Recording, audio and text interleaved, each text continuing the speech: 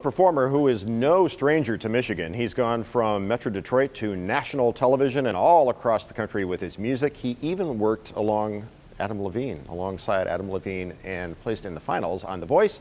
We are talking about Tony Lucca. Thanks for being uh, back with us my live. Pleasure, my pleasure, yeah. Uh, look at this. I have an LP right here.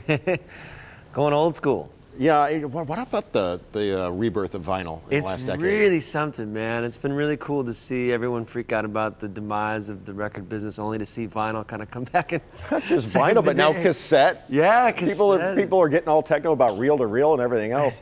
um, so, how's life going for you? Tell us all about it. Life is good, man. Yeah, um, I've been uh, been been calling Nashville, Tennessee home for the last few years. Um, and uh, it's, it's been really cool. You know, there's a lot, lot going on down there musically, and uh, still a lot of truly talented songwriters and players and musicians and stuff. So it's been a great, a great home. I see you have the Sun Record shirt on. I, yeah, I did not, met, I did not miss that. Uh, yeah, we, uh, I got to go out there and record a session uh, a couple years back, and uh, we put, some, we released some songs from that last year on, on iTunes, and.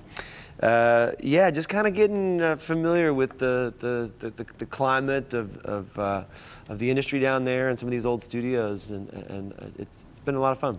Uh, I noticed that this is called off the record music, which is pretty funny when you consider this. you got a vinyl. Okay, Canyon Songs Remastered is the name of the album. Uh, Death of Me, Darlin' I, um, Longing, Sarah Jane, The Hustler, The Widow, and The Boy from Detroit. What a great song title.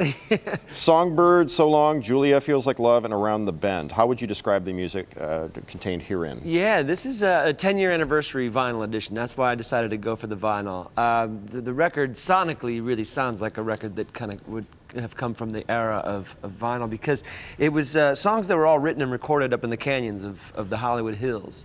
So it's, it harkens back to like that Crosby, Stills and Nash, Joni Mitchell, Jackson Browne, the Eagles kind of kind of 70s uh, sound to it. So it's pretty eclectic, uh, like that music was.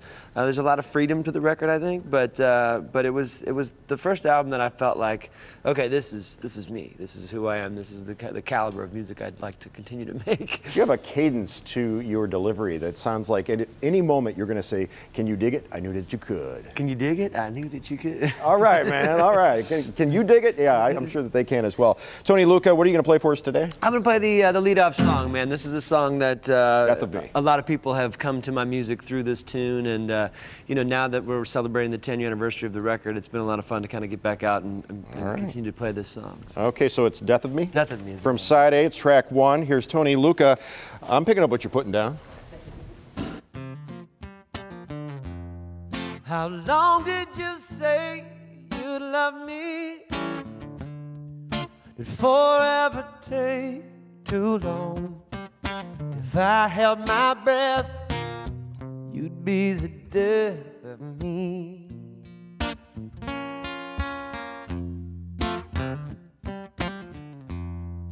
You told me you'd always be there.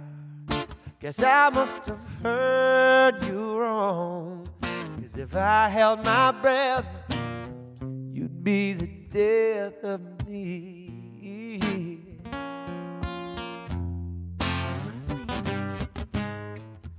You promise you never leave me.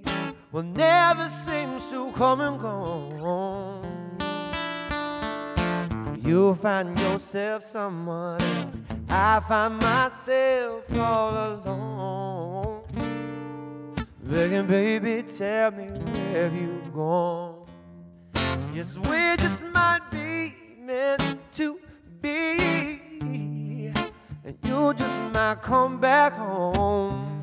But if I held my breath, you'd be the death of me.